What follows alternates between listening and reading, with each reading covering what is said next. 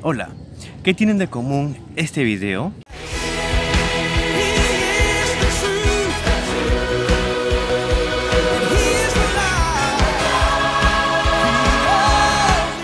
Con este video.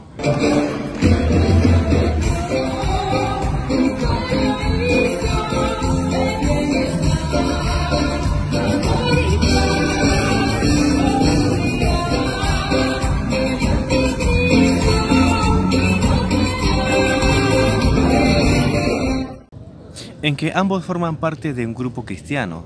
Uno pertenece a una iglesia X y el otro pues son los testigos de Jehová. Increíble, ¿cierto? Pues créalo.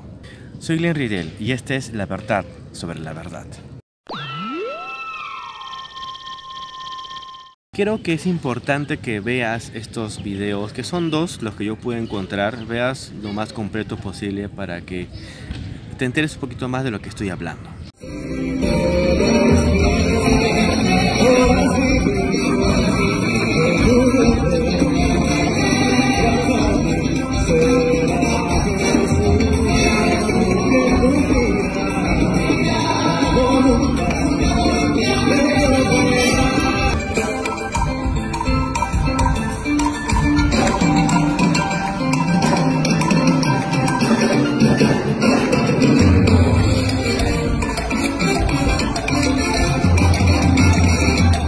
Viva el paraíso tropical, viva la música alegre. Imagínate a Jesús bailando y saltando como los integrantes de esta religión, gritando en euforia.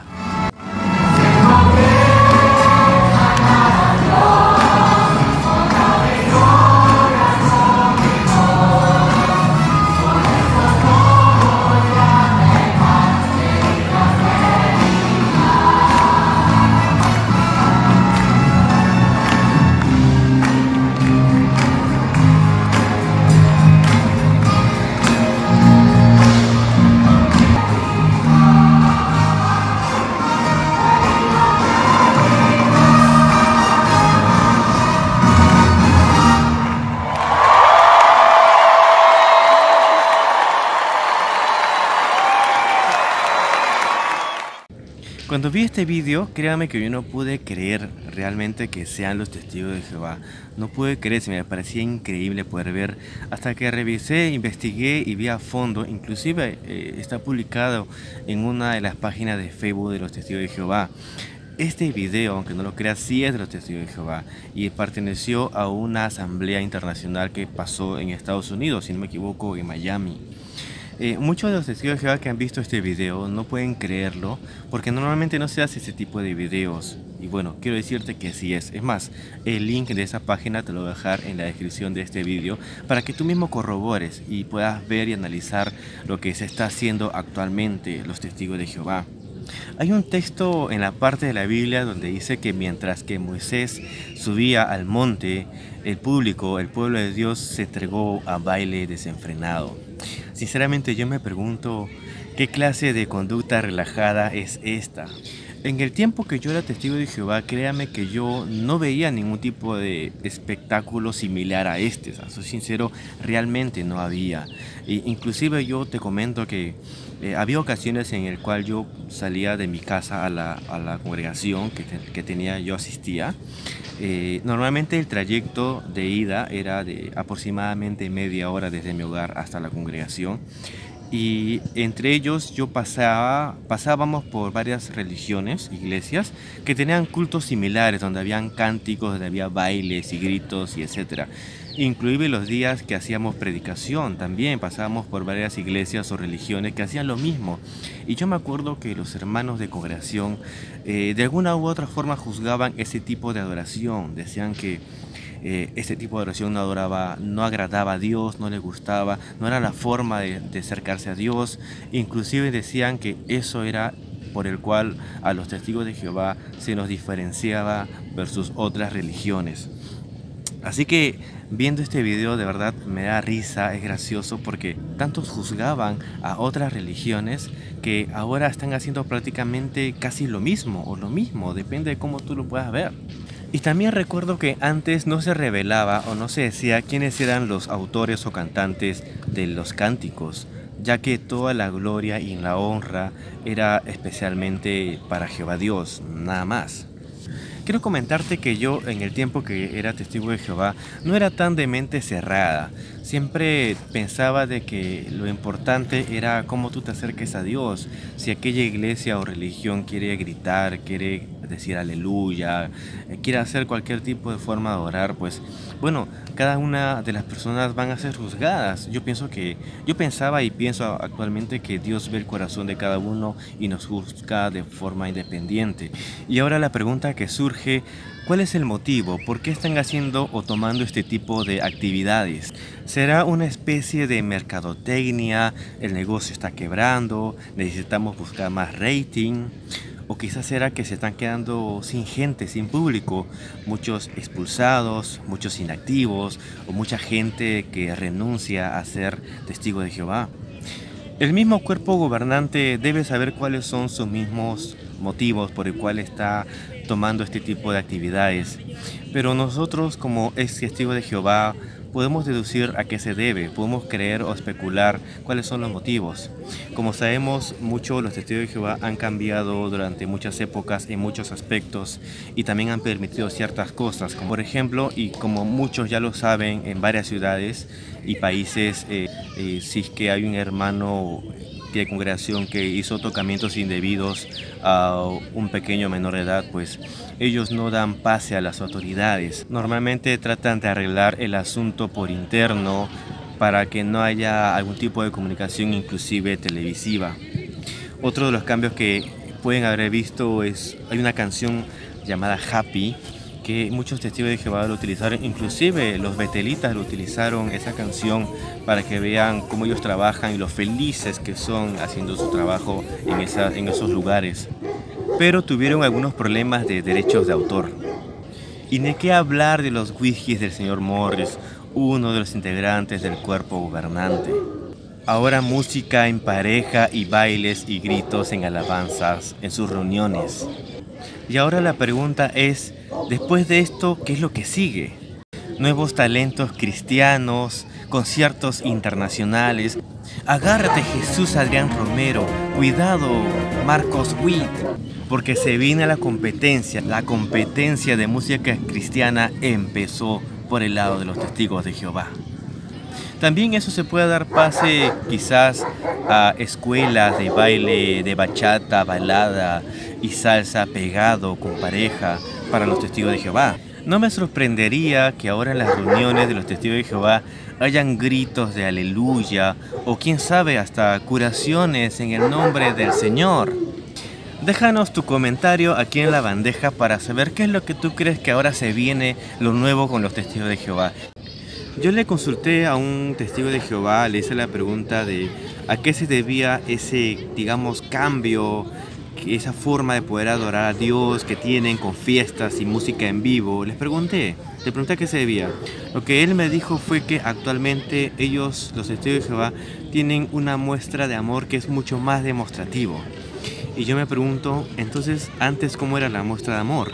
¿Antes era menos demostrativo, algo así?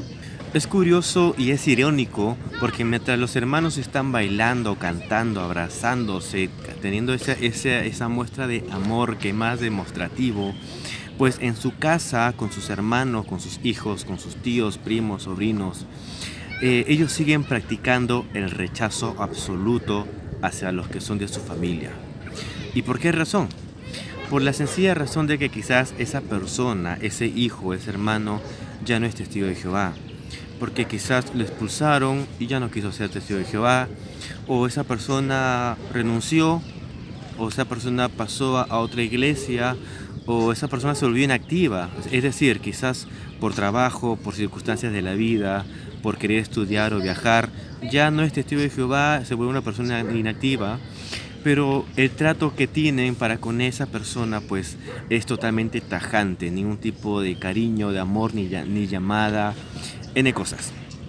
Y por el contrario, lo que hacen los testigos de Jehová a nosotros, en nuestro caso, es tildarnos, es juzgarnos.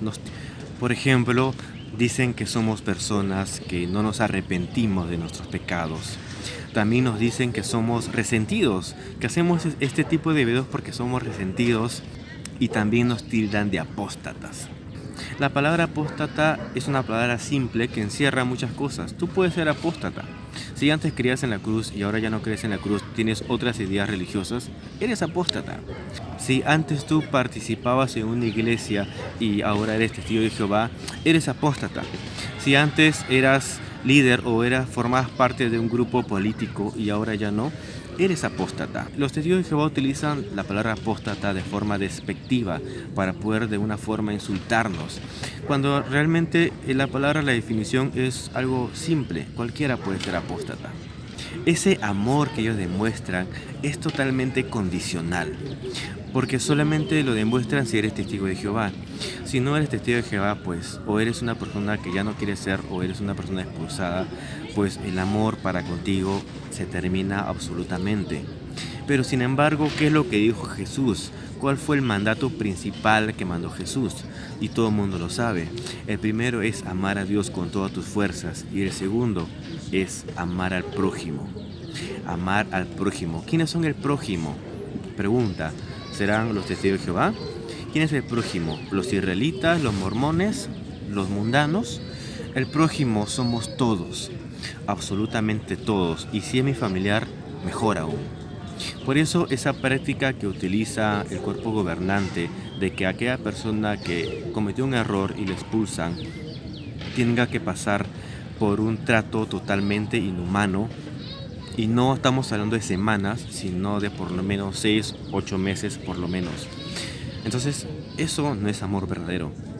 La Biblia dice que hay que alejarnos de aquellas personas que no son de buen vivir, porque podría opacarnos o podría hacer que cambiemos nuestros buenos hábitos.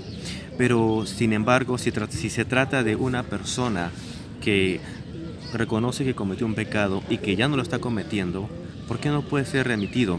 Si yo actualmente, si yo ahorita voy a la congregación de los testigos de Jehová y hablo con el anciano de congregación y le digo, sabes que eh, estoy arrepentido, ya no estoy pecando, quiero volver a ser testigo de Jehová, este, ya no, sinceramente te estoy sincero y en el nombre de Dios puedo dar fe de que no estoy pecando, de que ya me casé, de que ya no soy borracho, N cosas, cualquier pecado que tú hayas cometido y quizás por ese motivo te hayas expulsado. Eh, la Biblia dice que se le perdona al que está arrepentido pero según los parámetros de los testigos de Jehová, pues eh, no es así, no es de inmediato. Lo que ellos van a decir, ok, estás arrepentido, bien, tiene que pasar un proceso de ocho meses. Ocho meses en el cual nadie te va a hablar, nadie te va a saludar, el trato que actualmente tienes. Ese es el trato que yo no estoy de acuerdo y que no me parece bíblico.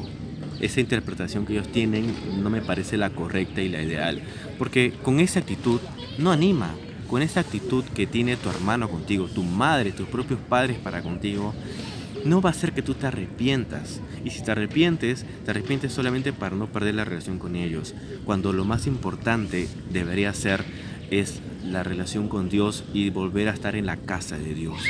Eso creo que prima más que el no hablarte porque simplemente es la ideología que ellos tienen, pues Quiero que sepas que este video y estas últimas palabras que he dado es mi opinión completa, es mi opinión personal, es lo que yo creo que se debería hacer.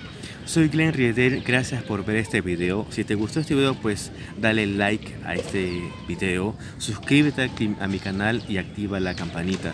Voy a estar subiendo videos lo más seguido posible, hablando sobre estos temas religiosos y especialmente sobre mi experiencia como testigo de, Jehová, la experiencia que yo viví Quizás tú no la estás pasando.